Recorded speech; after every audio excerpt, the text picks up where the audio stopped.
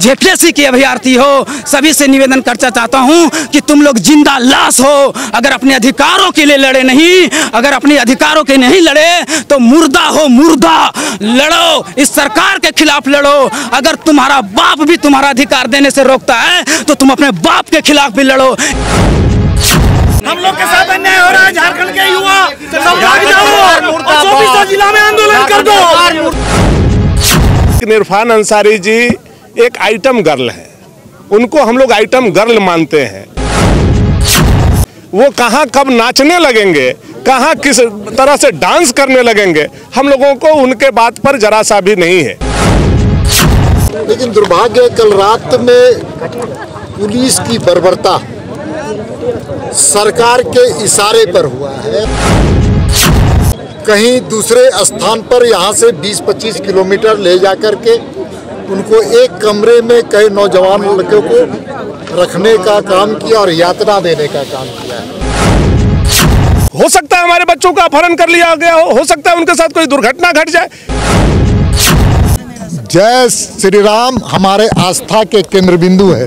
वह भी बोलेंगे जय झारखंड भी बोलेंगे और जोहार भी बोलेंगे।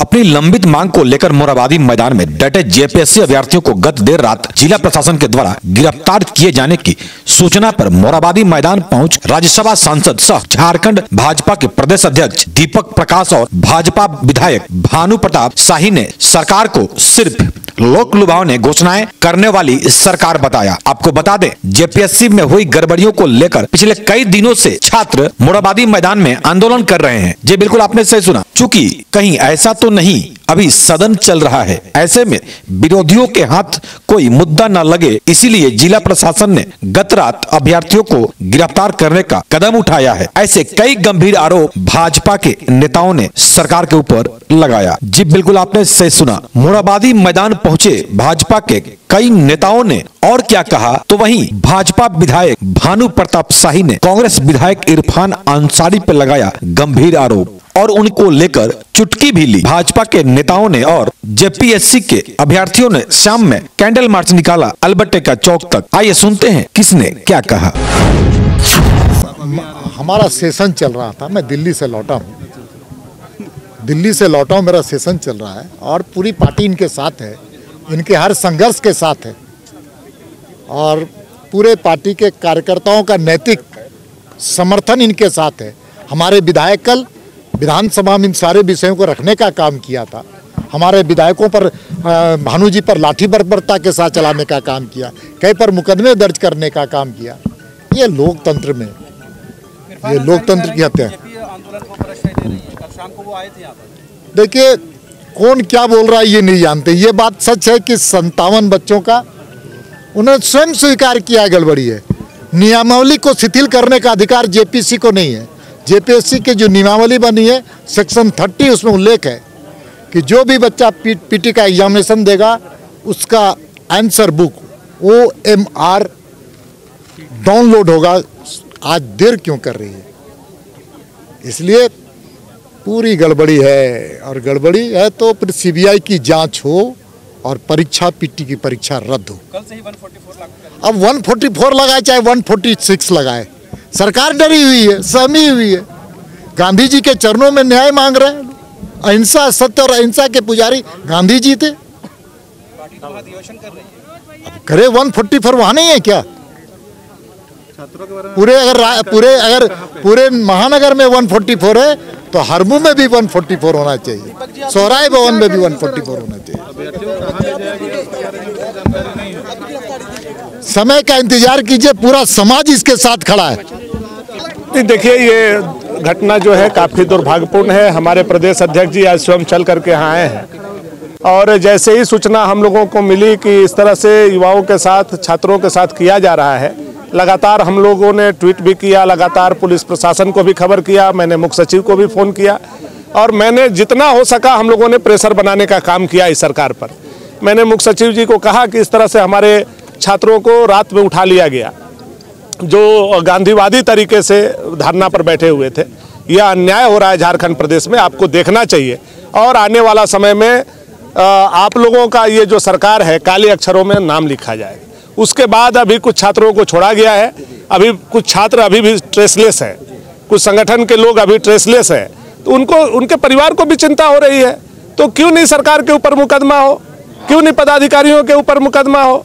और अगर वो छात्र नहीं मिलते हैं तो उनके माता पिता से हम लोग जाएँगे उस हद तक, कोर्ट पहुँचेंगे और उनके ऊपर केस करवाने का काम करेंगे। देखिए, इरफान अंसारी जी को कितना गंभीरता से आप लोग लेते हैं, मुझे नहीं पता है, लेकिन इरफान अंसारी जी एक आइटम गर्ल है। उनको हम लोग आइटम गर्ल मानते हैं।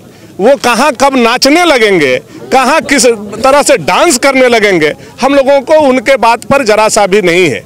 वो पाँच लाख जनता के प्रतिनिधित्व करने के लिए आए हैं। और वो आदमी सदन में खड़ा होकर के बोलता है कि जेपीएससी में घपला नहीं हुआ है। जब जब घपला नहीं हुआ तो उनचास लोगों को आपने पहले पास क्यों किया और फिर जब पास कर दिया तो फेल क्यों किया? जेपीएससी आज खुद कटघरे में खड़ा है और उसको आप क्लीन चिट दे रहे हैं तो ये तो आइटम गर्ल का ही तो काम हो सकता है ना। दबाव बनाएँगे जो बच्चे जी? पुलिस पर दबाव बनाएँगे। बिल्कुल बनाएँगे। हम लोग महामहिम राज्यपाल से फिर मिलेंगे। हो सकता है हमारे बच्चों का अपहरण कर लिया गया हो हो सकता है उनके साथ कोई दुर्घटना घट जाए। ये तो अन्याय है ना? आप देख रहे हैं कहाँ बैठे थे वो लोग? वो लोग गांधी जी के प्रतिमा के नीचे बैठे हुए थे। वहाँ से रात के एक बजे उठाना। क्या गुना था उनका? आप सुबह उनको भेज देते, नोटिस भेज देते 144 लगा करके उनको बोल देते, आप यहाँ नहीं करो, आप दूसरे जगह जाओ। वो जाकर धरना स्थल पर करते। उनको क्या ज़रूरत पड़ा उठाने का? कौन सा ऐसा क्राइम किया उन्होंने? बताना चाहिए सरकार को। आकर के सामने आज ये महाधिवेशन कर रहे हैं। उस महाधिवेशन में मुख्यमंत्री जी को ये बात बताना चाहिए कि किस तरीके से हमने छात्रों के साथ बार बार ये ऐसा करते हैं।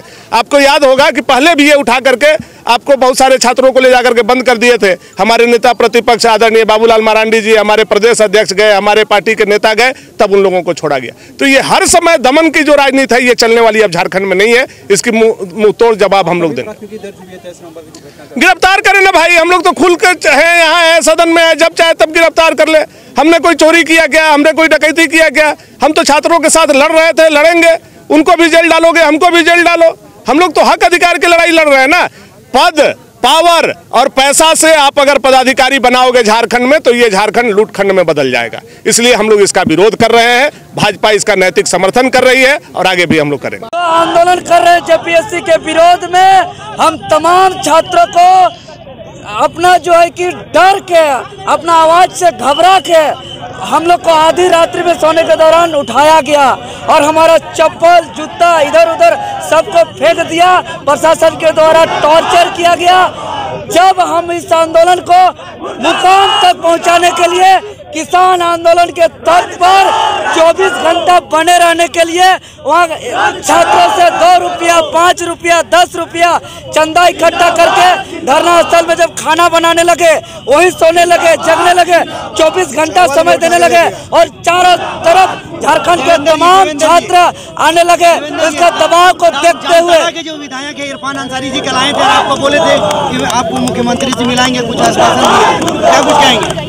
जी, सबसे पहले तो मैं ये कहना चाह रहा हूँ कि कल जो हम लोग के साथ घटना घटा, वो बहुत निंदनीय घटना है। झारखंड सरकार के लिए बहुत बेशरम की बात है कैसा निर्लज सरकार कि जो जो जिस जेपीएससी ने स्वीकार किया है अपना गलती, और उस अगर जेपीएससी सही है तो ओ जारी क्यों नहीं कर रहा है? अगर सरकार सही है तो जेपीएससी पर जाँच कमेटी क्यों नहीं बैठा रहा है? और ये बात हम कह रहे हैं, और इस तो हमारी बात नहीं सुना जा रहा है। मैं एक बात सभी झारखंड वासी सभी झारखंड छात्र छात्राओं से निवेदन करना चाहता हूँ, चाहे वो जे के अभ्यार्थी हो जेपीएससी के अभ्यर्थी हो, सभी से निवेदन करना चाहता हूँ कि तुम लोग ज़िंदा लाश हो। अगर अपने अधिकारों के लिए लड़े नहीं, अगर अपने अधिकारों के नहीं लड़े तो मुर्दा हो मुर्दा।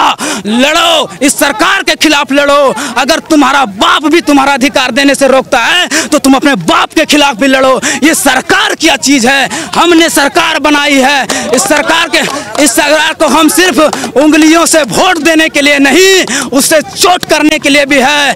हमें कलम चलानी आती है हम बंदूक चलाना भी सीख लेंगे। हम सरकार से निवेदन करते हैं कि हम वंदे मातरम बोलना चाहते हैं। अगर सरकार ये तानाशाह सरकार हमें लाल सलाम बोलने पर मजबूर ना करे। अगर हम लाल सलाम बोले तो दामोदर की नदियाँ लाल लाल हो जाएँगी।